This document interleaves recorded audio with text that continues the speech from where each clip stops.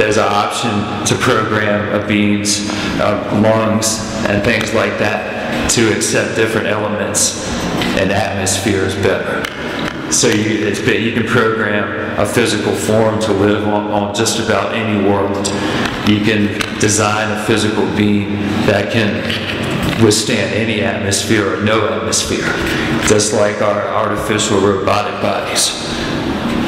When we switch our souls from physical, uh, physical biological body to a physical, mechanically um, created structured body, it's a lot to take in. I know. I know it sounds crazy to some of you, but it's not. Believe me, it's not crazy. Think about it. Consider what I'm saying as you meditate. Take a moment and meditate on this fact. Because it is a fact. I, I can't deny it myself. This is why I'm talking about it in, in, in my writing. This is why I'm doing this because I realize this stuff and I and I see these other lives that I've been through and I realize that it's like, damn, I've been here so long. It, I've never not been around. I've lived life after life after life and physical forms and non-physical forms. You know, I've gone through all these traumas and experiences, but yet here I am. I'm still going. It's been after billions and billions, trillions of years even of lives that we've all have lived. Every one of us has always lived forever. Not one of us has not been around. Not a single one of us in this world has ever not been living at some point or another in this universe. Even trillions of years ago, actually out there in the universe living lives. Maybe not on this world, and maybe not on the world even in this dimension anymore but yet you were still out there living lives. There was a part of you that was living, experiencing, doing things. There was a conscious part of you that loved. There was a part of you that felt things. That was there. The real you was there in those times and those basically all all the past is is an assignment of events to times that's all time is. You and a person associates in their minds the certain events and happening in their lives and their world during this particular date, particular year or decade, and it forms their whole vision of the universe, the way they think about that stuff. Their whole inner vision of how life should be is reflected in their thoughts about this. And there's no way to avoid that fact. I realize that now. That there's so much truth to that. I realize there's so much truth in love.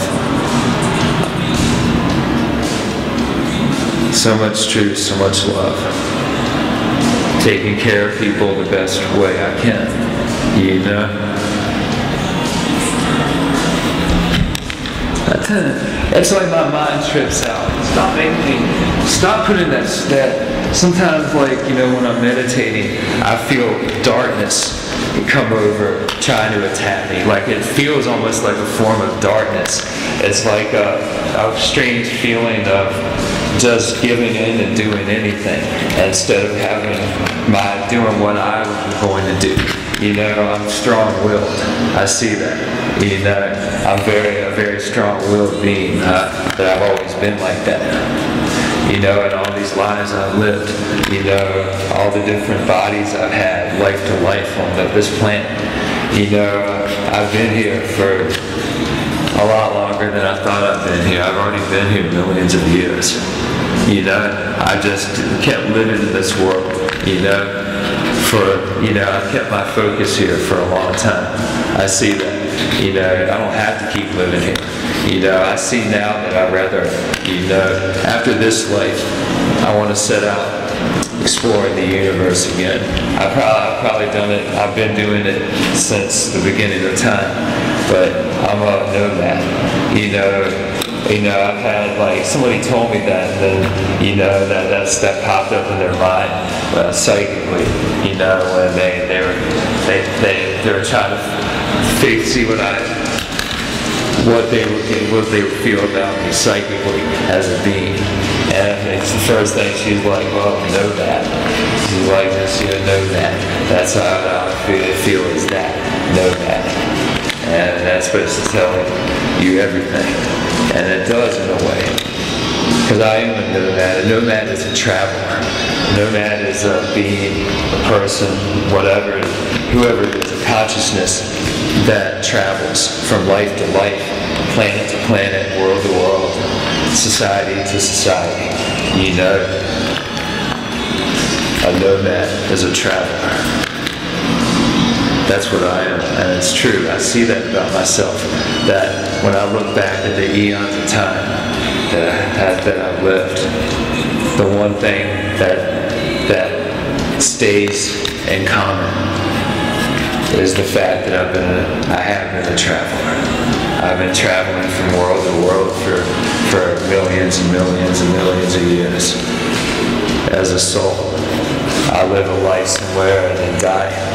And then I, my soul just takes off and starts traveling again throughout the universe.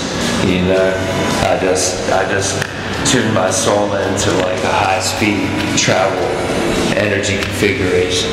I see that's what I that's what I do as I travel the galaxies. I can just I put my conscious mind into this state of mind that it just takes off, and, and I put it on autopilot, and it's like I'm in my own little self-created spaceship just traveling.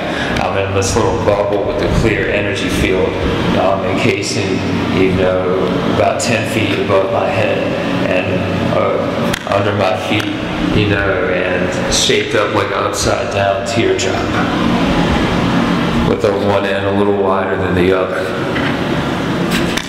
That's all I needed. I was, it had, I had a little energy field surrounding you know, this is a physical device. I see it can be either or not, it could be the way you non-physically encase your soul as your, you put your soul itself through travel through the universe when you leave a body. But let's say this, let, okay, let's say um, you died right this second and left the body you're in, this, but left your body where it now. Let's say that happened. And you know, you left that and you were trapped. You know, what if you just, as soon as you died, there, you know, there is no spirit world or anything like that for you. You know, you saw it. If you, you could, you could go there if you want to. You could go to the spirit world for the world that you were in if you want to. But then again, you don't have to. And, you know, I see that I've just been traveling and all these billions of years living in the physical world. I, I've lived in certain worlds for it might be a thousand years here or a million years there, and then I might live a few other million years on this world and then travel through the universe just flying as a soul for millions of years too. I've spent millions of years just as uh, my soul, me, and no one else, just traveling by myself through space.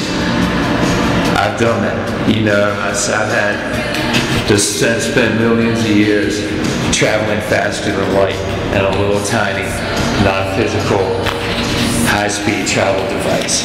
You know, I'm basically tuning my mind with the device and we're jumping into a side, a side dimension. Basically, that's the best way to describe it. It's a, a, a dimension just to the side, to the right of this one. It's easily accessible. This dimension is very easily accessible. And in this dimension, the rules of physics are very different. And it's, and it's so close to this dimension. That's the amazing thing about it. It's, it's right here, just alongside this one. And all that's needed to get there is to just snap open a portal you know that just snap open a dimensional portal and walk through it. Simple as that. Well, you can carry the device the size of a, of a little uh, digital voice recorder. You see how tiny these things are? You know, but that device can be programmed to open dimensional windows. you know, I see we wear it in our belts. I see this big red belt. This is me. This is another life that I've done. I have this little small device and a big belt that's colored red. It's about three, four inches wide along this belt around. And I had this little small device for travelers. And it's a device that opens dimensional windows to the past, to the future, whatever moment in time you needed to get to, you can get there instantaneously. It also had a selector button for opening dimensional windows that would take you to different parts of space-time within this dimension. In other words, you could jump planet to planet, galaxy to galaxy instantly, wherever you want to be, just with a little small device. And the way it worked is it interfaced with your conscious mind. You picked the device up, touched the middle button in the center, and held your finger as you thought with your conscious mind about what kind of place you wanted to travel to. After a few seconds, the, the, device activates in response to what you thought, your intentions that you thought about. And it just you see this thing just snap open in front of you like the shutter of a camera. That's a good way to put it. It's just snaps open from blackness and the light, or just a, a light that appears in, the, in right in front of you. You know, it basically it looks like a hologram with a door is floating right in front of you in the middle of the air. You know, in this normal space and the uh, normal time around it. But it's like a doorway actually cut into another dimension for just a few seconds, enough time for you to walk through. And that's possible. That's very that's something that is actually very common within the universe, these kind of devices. On many, many worlds do they have Many worlds have things like this. The key is learning how to use devices like this responsibly. When you have the power to jump from dimension to dimension, different points in space-time to other points in space-time with a little small device the size of a voice recorder. When you have that kind of technology, going to be all in how you use it. It's all in how you use power like that to do things. Because you can't travel from dimension to dimension, alternate reality to alternate reality irresponsibly. You can't be doing that. It's not good for anybody. Not good for you or anybody else that you're around to be irresponsible as you go from different possibility to other possibilities in your life. To jump from one way of the world turning out to another way of the world being to a whole other way. You can actually jump into the you that exists in those realities. There's no paradox because you're not creating a second you within that reality. The dimensional windows that would open with these devices can be manipulated that way in order to preclude certain potentialities in the portals that have been opened. In other words, it's all what the being is thinking that's using the device. You have to contribute to the kind of dimensional window that you want to open by thinking about something. The universe demands that you contribute, and your contribution is your thought. You know, so you think it. You hold this thing, you touch the right selector button, and think, you know, go into an alternate universe where, you know, I'm homeless. And, you know, and then you'll jump into the version of you in that reality. Uh, there's many different versions of that reality that can be chosen from. In fact, there's the you could jump into the you that was rich.